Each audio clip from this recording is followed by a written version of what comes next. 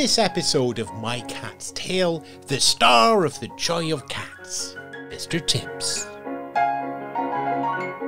I heard tiny little meows, the runt of the litter, Mr. Tibbs.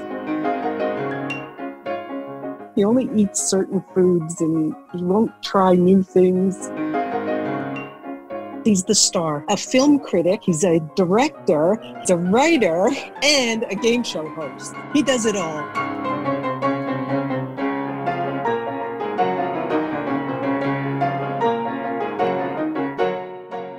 Joining us now on My Cat's Tale, we have another multimedia content unit producer. I think that's what the web wants to call the stuff that we do online nowadays. Judy joins us from The Joy of Cats. Hello, Judy. Hello. Back in my day, we just called this like radio, but playing around with it. yes. And that's probably that's a similar idea for yourself. Let's start with right there because I think that's where a lot of people will know your name from. The Joy of Cats and these regular quiz show reimaginings with cats. Yes. Mr. Tibbs, he's the star, as it were. A film critic at one time. He's a director, he's a writer, and a game show host. He does it all. Tell us where this idea came from.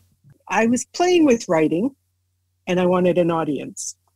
I thought maybe I could write something with the cats. That would be amusing. Just have fun with them. So I joined Twitter and it kind of took off because I it took me a while to get going to engage with people because I'm kind of quiet and shy and don't really engage. But once I engaged with others and we started having a laugh, there was no stopping it. So Mr. Tibbs first started to do film reviews. People would put their films of their cats, right? The silly films, and he would review them like they were serious drama movies. And so it kind of took off from there. And I started a, a, a film festival for him, MTIFF, Mr. Tibbs International Film Festival. I had I did that for a few years and then kind of petered out. I I used to uh, review all the entries that would come in, and I gave a prize and the the Tibbsy Award, and and after doing that a couple years, I I kind of lost interest. There, there wasn't that many entrants, so just started doing other things too with them. So, where did the urge for writing in you come from? Um, I don't know. I just I like to write. Well, I like to read, and you know, usually when a writer is reading, they go, "I could do that," and so I just started to do it. And I was looking after my elderly mother at the time, so I wasn't working, so I had the time to do it, and so it just took off from there. It's challenging for me as a writer just to write that kind of stuff, and it's fun you know and and to interact with with the other people cats is hilarious sometimes And so we're going to come to Mr. Tibbs now, the Yes. the titular host star. of the of the, the Mr. Tibbs International Film Festival, Feline Film Yes. Festival, with all the apps going on in there. Uh, Ninety nine point nine five percent of the time, he's not an international multi- multimedia star. He's just a cat. it's just a cat That that just is doing a lot of lifting there, everybody. By the way, because there's no such thing as just a cat. Tell me about him. mr tibbs. He was actually well he's a big cat. He's huge. He's about 20 pounds. Except when he was born he was the runt of the litter. He was tiny. And once he started eating i, I don't think he stopped. But he uh, when minnie when i got minnie she was a, a totally an outside cat and feral and i managed to get her in the house. And i thought i had the springtime till the springtime because i took her in about december november which in canada it's very cold in the winter. And they say that feral's cat feral cats don't last longer than three years outside in canada. And so i managed to get minnie in and I figured I had until the spring to get her fixed. March came around. She was pregnant. She had the kittens in my bedroom. She had four of them. First, she just had three, and I was looking, I was peeking and looking, and I saw them, and, and it's like, oh, they're so cute. And then I kind of went to bed, and it was after midnight, and I I heard some struggling noises and tiny little mews, and so I looked, and there was this tiny little black cat, the runt of the litter, Mister Tibbs. That was him. And you still have Minnie. Minnie's still living with you. Minnie's still living with me. The only one, Tuffy, passed away in 2020. She was she wasn't well. I don't really know what was wrong with her. The vets didn't really know, and eventually she got too sick and, and she had she had to be put down.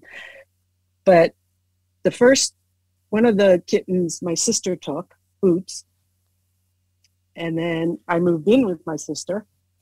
And so the family was reunited, and Boots, he's with the family all the time. He spends all the time with them up here with me. My sister has another cat, Dusty. Dusty does not like any of them. he hisses at them, doesn't like any of them. But Boots gets along with the others, except Mr. Tibbs does kind of chase him a bit mostly when it's around the food. When cats grow up together, they stay. We all hope they stay as a nice, relatively loosely connected unit. Mm-hmm. What was it like? Did did Boots just fit back in with that group, or was it almost like bringing in a new cat to the group? Uh, no, he fit in perfectly. When he moved in with my sister, and my sister had the other cat, the other cat didn't like Boots, hissed at him all the time and they never got along. When I brought the other cats in, Boots was right there.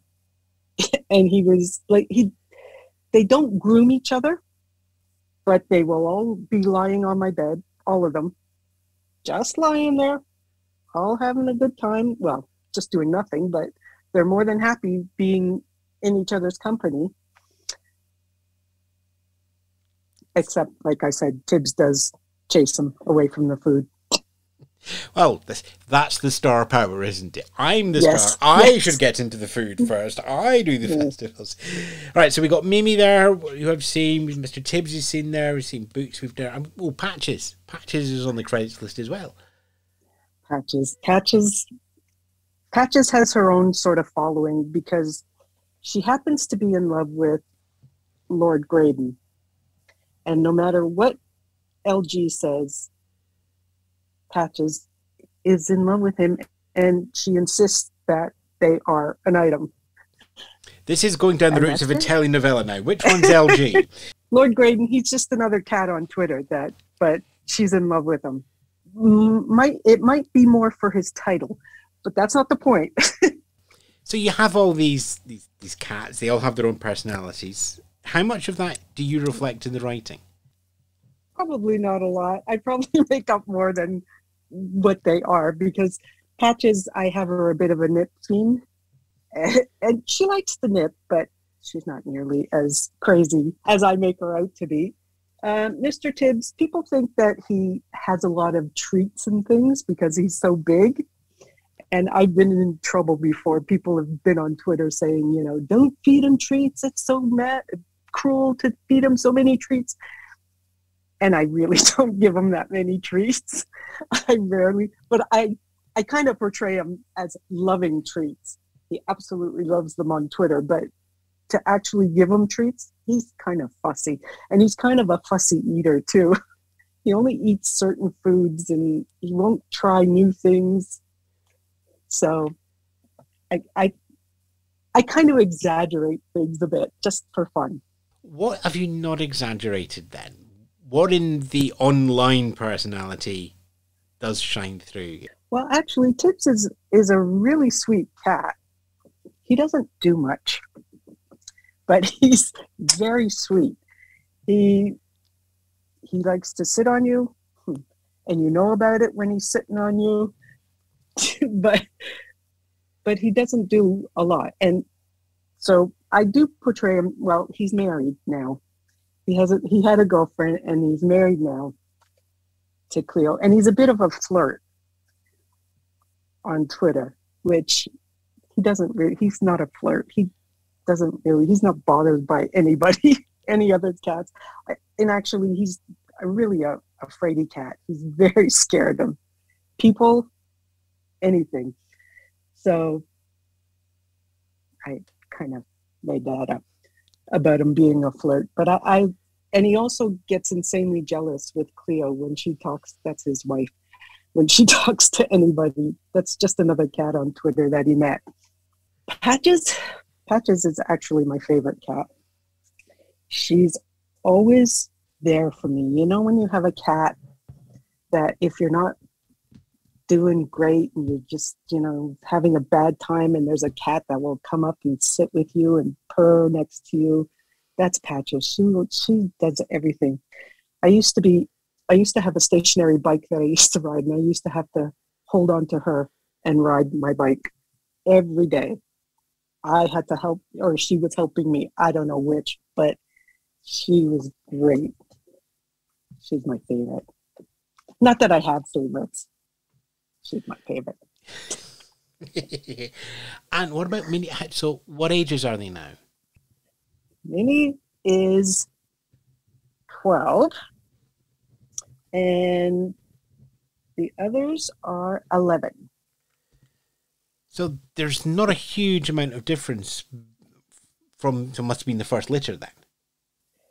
No, Minnie did have, actually, she had a few litters the first year, I think she was born. So maybe Minnie's 13. I think there's two years between them. But Minnie did have a, a few litters when she was outside all the time, but I don't think any of those survived because she was outside all the time. I didn't know really where they were or anything, you know? I mean, lo- looking back now, you, you said there earlier that you were thinking maybe three years for a feral coming in. Minnie's uh, 13 is is really a, yeah taken to the lifestyle of being a house cat. Yeah. Um, there was another cat that I was feeding outside the same year that Minnie was born, and that one for four years. And I think it only lasted four years because I was feeding that one every day, but it wouldn't let me touch it. I think it was, yeah, it was a girl cat because there was a kitten at one time, but she only lasted four years. And I, I reckon that Minnie would have been the same because they were the same, basically the same age. So Minnie's done really well being as old as she is right now. What is it about having so many cats around you that makes you feel comfortable? I don't know that I, I planned it because I certainly didn't plan it. But when Minnie had the, the kittens, I fully intended to rehome them. And then when my sister took Boots, it was so hard to give up that kitten, even though it was going to my sister to a home where I knew it was going to be fine. It was so hard to give up that cat that I just I couldn't give up the others. I just couldn't. But then I immediately got them all fixed so that it wasn't going to happen again. so how do they all get on with each other just now? You said they're not really grooming, but they they are still doing a bit of rough and tumble. Actually, well, Patches does beat up Tibbs often. Tibbs and Minnie at the moment are really they they groom each other a lot both of them to eat you know it, they they can be licking each other simultaneously. And the other day, actually, I saw them. They were on the floor and they were head to head. And then I went downstairs and I came back upstairs and they had crossed paws. So they were like touching, holding hands. it was cute. But yeah, they get along. Sometimes Tibbs will groom Patches. Patches doesn't really groom anybody but herself. But the others will. How much of a difference have they made to you? they're great. I never had any pets growing up as a kid. My mom had cats, so she she didn't mind cats. And so when Tibbs was born, a little black cat, I called him Tibby. Plus, I thought he was a girl. Once I realized he was a boy, that's why I changed his name to Mr. Tibbs. But I named them Tibby after my mom's cat.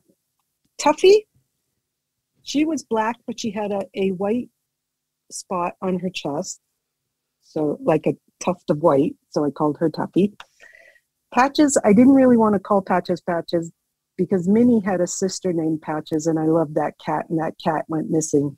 So I really didn't want to call Patches Patches, but my sister said, call her Patches. So I went, okay. Um, Boots was actually called uh, Tricky Woo at first. my sister named him, and then she changed his name to Boots. Don't ask. That's weird. And Minnie, Minnie was a mini version of her mother, Pretty, which she was just a cat that followed me one day, walking down the street, the street, and she followed me, and and then she found the house because I kind of ran away from her. I didn't want her following me, but she came to the house and she kept coming to the house, knocking on the door. Can Judy come out and play? So I'd go out and play with her.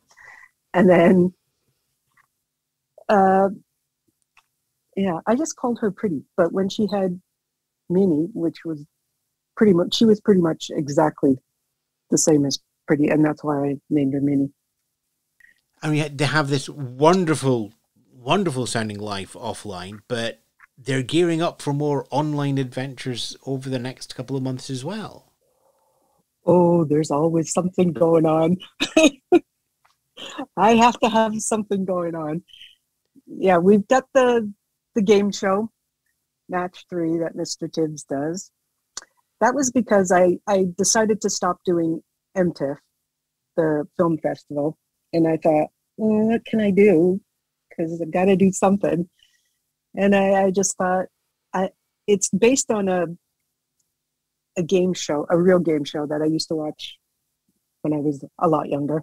And I switched it around a bit and, you know, made it for cats. So uh, that's gonna, I'll do that until there's no more contestants, whenever that happens. And then who knows what. But I do have, I've written another book. I, I wrote a book about um, Tibbs and Cleo that's his wife now, was his girlfriend at the time. So this new book that I've written, it, I'm still in the process of writing it. And I also have a movie that goes with it. So I have to figure out how to make that available with the book. I think I got it figured out, but I'm not really sure. So so I'll have the book out, I'll have a movie, and then I'm kind of thinking of another book too. So that's just very early stages though. But there's always that brain thinking. I know the creative spark is just like, yes. I need to do yes. something now. Let's just have a look around and see what there is. Yeah. Uh, and if people online are looking around, where can they find these books, watch these videos, get in, get involved as a contestant themselves? Uh, the best best place is to go Twitter and that's at Joy of Cats. And every Friday, I put out a blog, and I usually pin that to my Twitter page. So, and we will have a link back to your website uh, for Mr. Tibbs and the entire telenovela Canada Cat. It's got to be a telenovela. You, we, we need some proper cat telenovela in there with LG and Chloe and everything else is going on. We will have a link back to whatever that is in our website, which is mycatstalepod.com. Judy, thanks very much for, well, first of all, bringing all the shows and everything to my attention. It's been great plowing through those. And then we got a chance to once more share that with more people and the story of yep. your, your cast of cats. Thank you very much. Thank you. You've been listening to My Cat's Tale, a Spence Media production. Listen to more tales of our perfect pets at mycatstalepod.com and support us on Patreon.